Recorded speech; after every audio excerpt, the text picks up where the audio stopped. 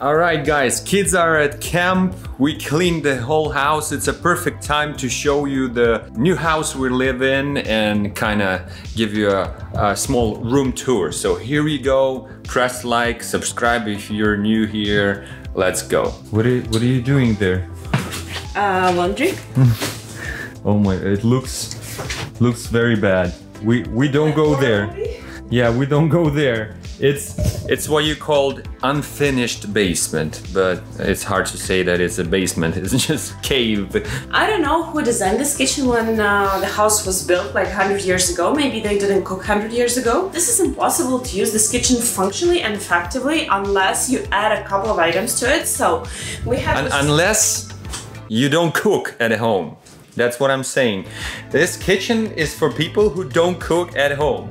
Or they cook like frozen pizza, which I do too, but not every day. So we have the stove, uh, which didn't have any countertop next to it. So when you cook, you have to hold everything in your hands or put it right next to the overall. Like it's not functional, but there's a pantry, fridge, and a couple of cupboards. That's basically it. Hey, hey, hey. And there's a toilet from the kitchen. This is this is the part that I like the most. Not not because I like toilets, but you know, it's a private private time. It's so weird to have a toilet. In toilet kitchen. in the kitchen. So you you sit here and you're like, "Hey, honey, what's for dinner?" You have to close. The Oh, door. close the door. I remember these doors like in my childhood in old apartments uh, in Ukraine. They way out to the backyard and to the deck. we actually use this door uh, more than a front yard because we park a car there and it's kind of closer. Yeah, so you you you have to keep your shoes here. You see the only one pair of shoes, but yeah, there's a lot of shoes here, which is not really cool because it's a kitchen and you have your shoes there. Also, what we did, there was an entrance, like um, a, path, pathway to the hallway to the uh, to the front door, which we didn't need, so we closed it and bought these items from IKEA, this and this. So it became more functional and it has so much space, like storage space. And we also added this um, kitchen island, which we bought uh, in a thrift store for maybe 40 bucks and it worked just perfectly. Everything in this living room slash dining room is thrifted. These chairs were donated. We bought this awesome IKEA table secondhand and it is in the perfect condition. Like it's like new, literally. It's actually remind us our home back uh, table back at home. So it's pretty much the same size and pretty much the same color. It was- Yeah, it's just that this is veneer and our table at home was like crazy expensive. I, I don't care. I don't care. It looks the same. We also thrifted this couch and an armchair in um, Restore Habitat for Humanity thrift store. It was awesome, but then we it cost us like 125 bucks for both of these, and they look like new. There are no spots except those ones. Those are kids, but they were like almost new when we bought it. And then we spent $180 for cleaning them. Like No, no, you said it wrong. $180. Yeah, like we spent more for cleaning of these uh, items than we bought them for. The biggest financial mistake we did Not so this far. financial mistake. We were expecting something we got in Ukraine, and we regularly did the cleaning for couches in Ukraine because like kids come from outside and it, it catches dust and debris and stuff, and we prefer to like professionally clean couches And it- once or twice a year. It was nothing like we used Yeah. to. So it was just, he covered it, sprayed it little, vacuumed it, a little and left. It was a mistake Well, it to was order. a powerful va- vacuum, I guess, and some specific like chemicals used, but still, like I would prefer something more in-depth cleaning. This uh, rug we bought in IKEA Circular Hub. It was a return for, by some client before. This TV stand is IKEA also. We love IKEA. Uh, it was secondhand. You probably have t- uh, questions about the huge TV. First, what we need to say is that because we saved so much money buying secondhand furnitures and secondhand everything, Everything. yeah, we could afford a huge TV.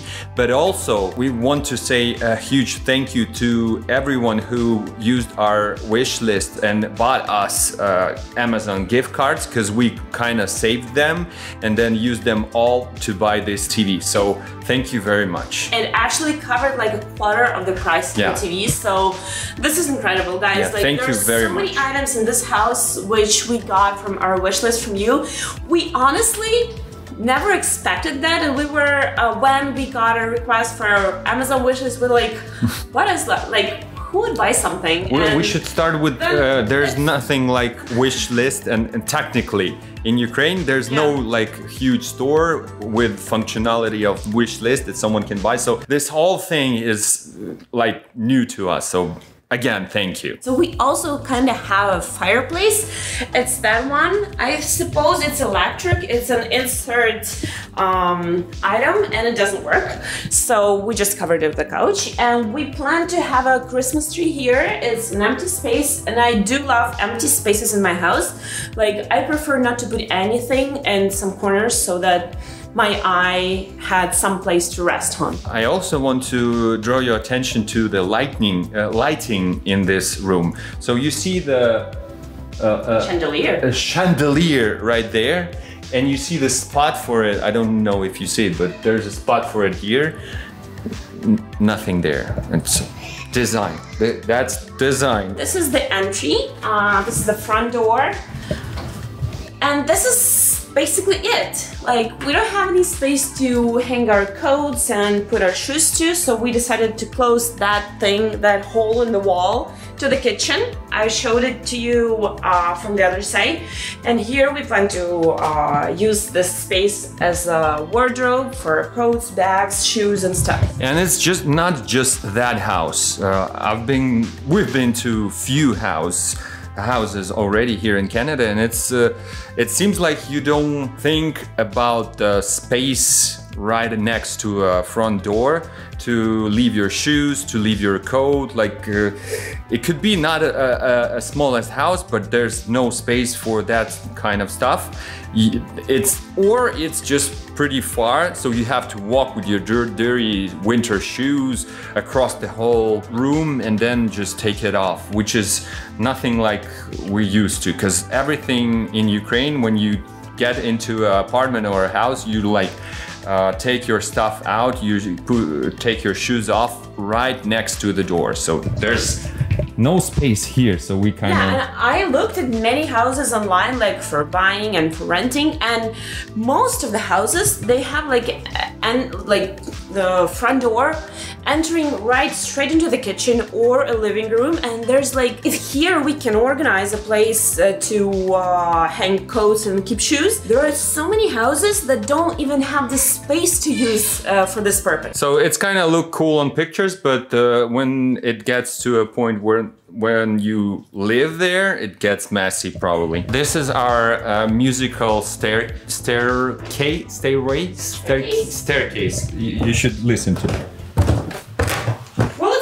It's fine. Yeah, it's wooden. It's not fine. It's it wood, shouldn't be wood. that loud. I mean, yeah, the house is old. He, it's kind of it's uh, almost a hundred years. So This house is quite small, but it's very functional. I love that it doesn't have any useless spaces like you know like millions of dining rooms and sitting rooms and rooms for doing nothing with a chair or a table like i love this about this house that it only has the functional areas Man, cut it out. We're filming. You you show your fat belly. What is that? What is that, man? it's his six pack six pack? it's man, his six pack what is that? Okay, let's let's continue. So this is the smallest bedroom and it's just perfect for him. I think it's just as big as his room back in Ukraine actually. It's just a little bit wider and shorter. It's so funny. Uh, this house reminds us our home so much. Like back home, his room where the same room where Katya had her uh, working space, wor- working desk. So we decided to put it the same room, and it's kind of very cool. Yeah, uh, this room has the biggest wardrobe, which is uh, currently used as a wardrobe and a storage. Don't pay attention. No, it's like okay. this is our oldest daughter's room, and she decorated it and came up with the design and color scheme and idea by herself. We had to buy everything for her, but still, she has a really good taste. She was dreaming about having these blinds and uh, fairy lights on the ceiling, and she So a lot of green stuff, and it's all live, live, right? It's yeah, not fake. those are uh, live uh, plants. Plants. Yeah, This is obviously fake, but Yeah, Still this looks is fake, but I don't know how to turn it on. Oh, I think I know. On. oh, Yeah. she even have lights. Oh my gosh, this is very cool. It's really nice. Like, um, she likes her stuff organized and structured. Yeah, a picture of her friends, her working desk. Let's Yeah, let's get out of here because she's gonna be mad that we're here. Actually, back at home, our kids were um, living in the same way they live here. So Vanya was separate because he can wake up in the night and start singing songs. Vasya was separate in her separate room because she's the oldest one. She used to have friends over and she needs her own space. And the little ones live in the same room because they're almost the same age and they have so much in common. They play together. This is their room. I think this is the most um, light, like light lit room in the house and i loved it about this room and um, it doesn't look big. Actually like how much space do you need to play? It's fine. We thought about putting a uh, bunk bed here but then bunk beds were too expensive and we found one of those beds used so we bought another one new and i think it works perfect. I actually haven't seen these uh, posters yet. When did you put them?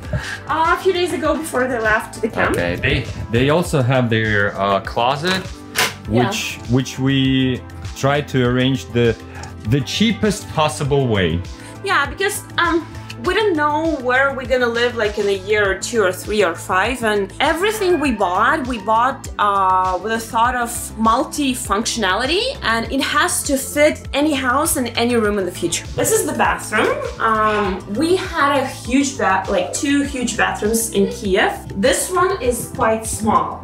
What, what surprises me, and this is not the first time I see these things, the bathtub is really shallow. Tell me the reason why is it why is it so shallow? Like obviously you cannot make it longer, but you can make it deeper so that you can submerge into the water, but still. This house says it is one and a half bathrooms. Yeah. Which is this full bathroom and that toilet in the kitchen. So one and a half. You can kind of tell that it's a really old house because there's a huge crack on the ceiling. It's not really. Uh, s- you have cracks. Perfect- Oh, yeah, perfect it's not wall. perfect. It's all cracked. And uh, Kind of flaky. yeah, I don't know what is that. I hope it's not mold or. I don't know, it's not mold, it's just opaque. We yeah, have to go. We didn't show our um, last room. Actually, this house is three bedrooms, one and a half bathrooms. But at some point, the someone like built another room that used to be an office or a, A den. A den, yeah. Like But- a winter garden or something. yeah, but eventually it, it end up being our master bedroom, a really small one, because you cannot remove this uh, this what is that Shelves. shelf? You cannot remove this because there's no no flooring under it, uh, under it. So you have to kind of step it like this and like this, and this is my spot. So Okay, how many times a day you do that? exactly zero times. So who cares? yeah. So the, It doesn't matter how much important- space. The most important part is the master bedroom, the king size. Oh my god. It, king size is not something that, well, you probably can buy uh, a bed this size in Ukraine, but we had smaller bed.